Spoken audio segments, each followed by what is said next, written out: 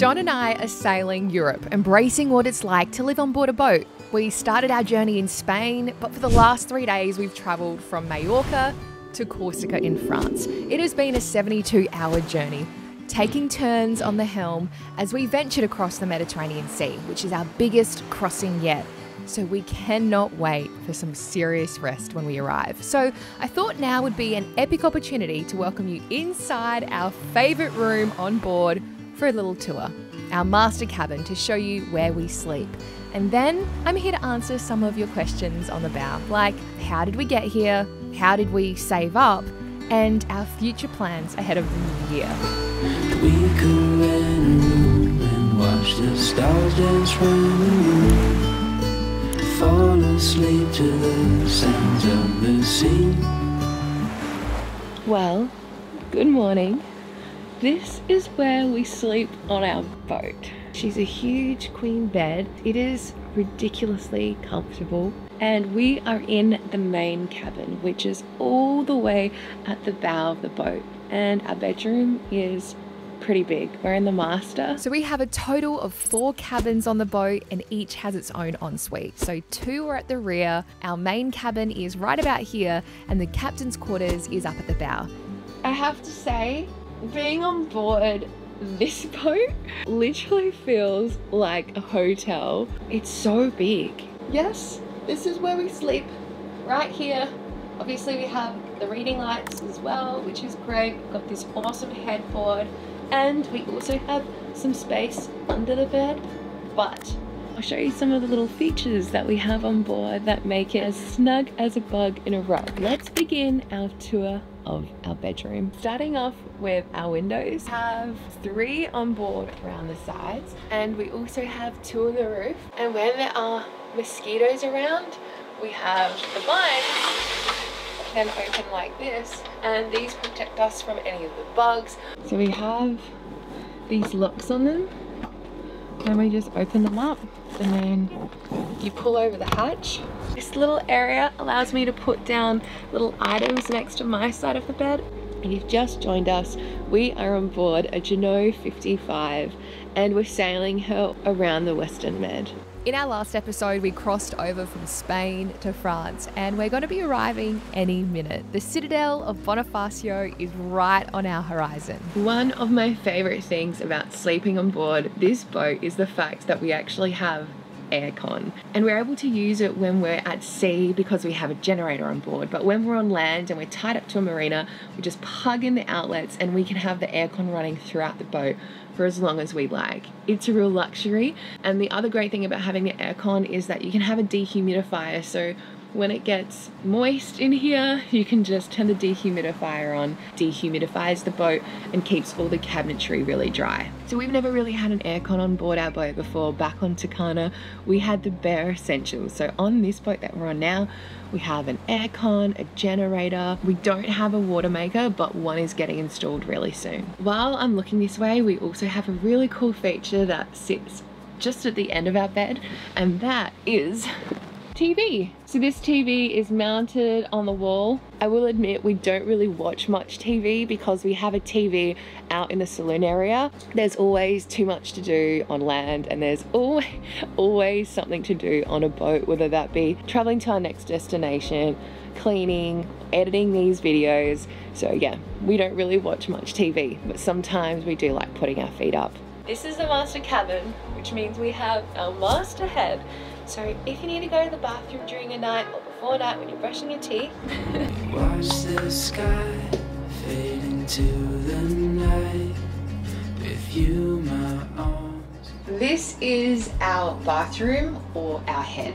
Uh, and as you can see, there's plenty of space. As part of letting you know where we sleep, uh, I thought I'd tell you my little regime that I do every morning as well. In these cupboards, I have all my things. So I'm just putting some sunscreen on.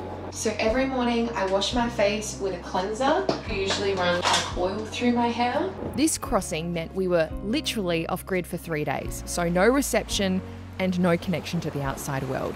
It's not often we get this isolation and silence, and so I thought it would be a great idea to answer some of your questions sent through on Instagram before we left. So, this is a really good question uh, from Matt McKenna 90. How much did you guys save to make this dream a reality? We're not far from land now, so let's squeeze a couple of questions in. I remember when I was about 20, that was a conversation that John and I had about starting a high interest savings account. So, we've been really saving since we were 20. We then worked really hard to be able to get uh, a little deposit for a unit or a townhouse. The one thing that John always really talked about, and I think that rings really true time is money. And so that is why we tried to save as much money as we could throughout our 20s so that we could essentially like buy back time and not stuck in the rat race. We really tried to turn back the clock and save as many pennies as we could while we were younger. I guess this isn't like financial advice, it's just our thoughts around saving. I remember when we used to go to like the shopping centres, I would always want to get like a juice. Hank, I want some juice.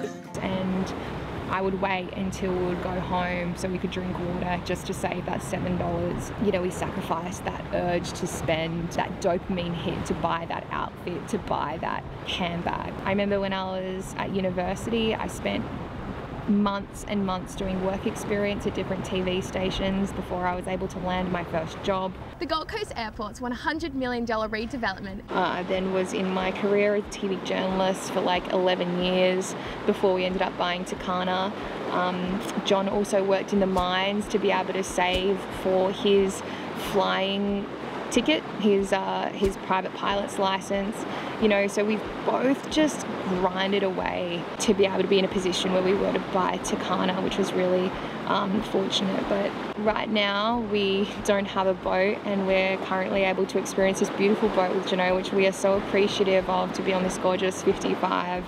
So yeah, I hope that answers your question. With the new year, I really loved this question too. What are you looking forward to?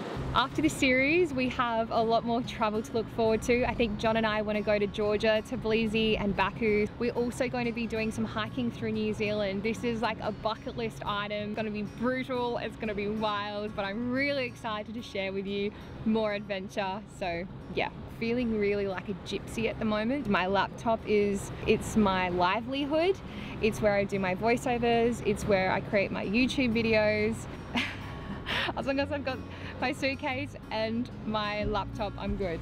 Right on the horizon, you can see Bonifacio. After 72 hours of sailing across the Mediterranean Sea, we've made it. It's our biggest crossing yet. Okay, are we ready? And we're finally going to step foot on land again. This time, it's going to be France, a new country for us. Change his flag as well. A new country that we've never sailed to before. But before our arrival, we're taking down the code zero. So we'll put away all those lines, wrap it up, and uh, put it back down into the captain's quarters or the anchor locker. It has a large surface area that captures the wind. Oh my gosh, check this out. Oh. What? And it allowed us to sail here when we were experiencing calmer winds along the way.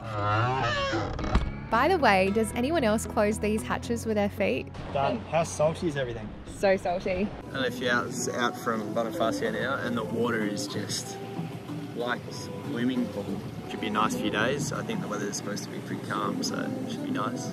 Just cleaning up the boat, getting ready to tie up and go sightseeing in Bonifacio, which is good. Looking forward to it.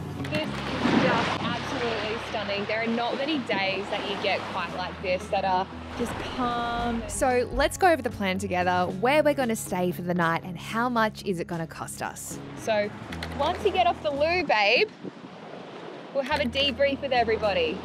No one wants to see that. It's gonna hide that starboard hole. We're gonna get in about five o'clock. Do you guys wanna go straight to the marina? We have decided to book a marina for two nights. It is eye-wateringly expensive. It's more than 200 euro a night. So we're gonna make the most of it. We're gonna show you around the town and the city, take you to all the little best places. Bonifacio is known for its location, atop white limestone cliffs. The citadel, a fortress, converted now into a town, overlooks the Strait of Bonifacio, which separates Corsica from the island of Sardinia. I cannot wait to turn that corner. Oh my gosh. We are just putting all the fenders on, ready to make our way into Port di Bonifacio. So there is a lot of traffic. The AIS is going crazy. We might even have to turn it off in a second. Just gotta put the uh, 360 camera on. Deep into your Oh my gosh, this is absolutely spectacular. This is like the best arrival into Bonifacio. I know the sails aren't up, okay. But seriously, this is pure magic. I wish I could stop time and stay in this moment. Never think about going. Won't you stay with me for a little while? Oh my gosh, look at this super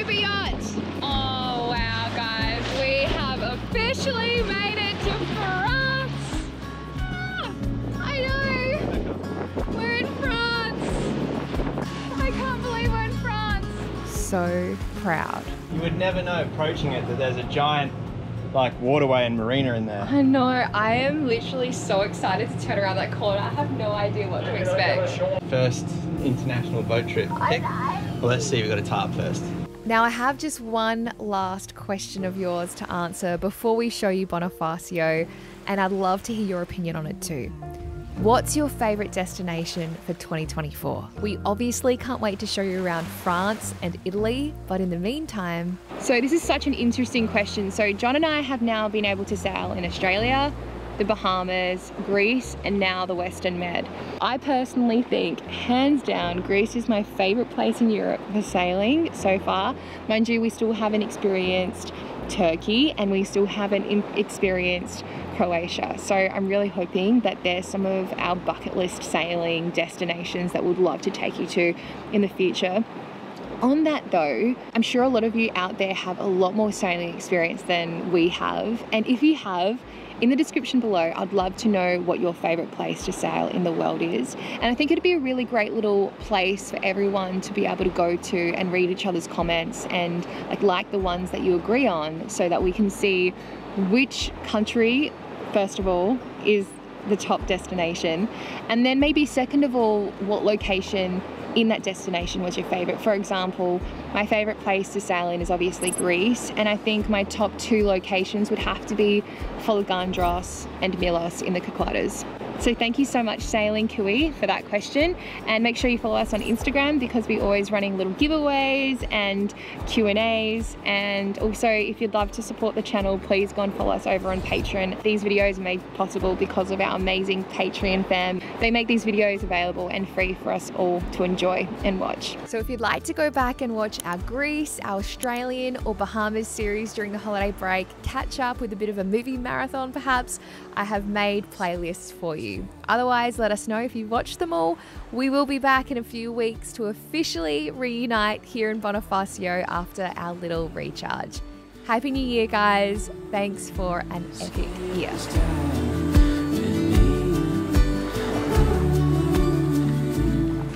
I request that during the boat tour, this claw is left on.